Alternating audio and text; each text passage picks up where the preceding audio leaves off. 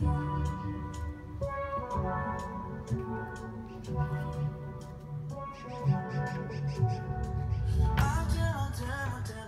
perplexed with just one breath and empty.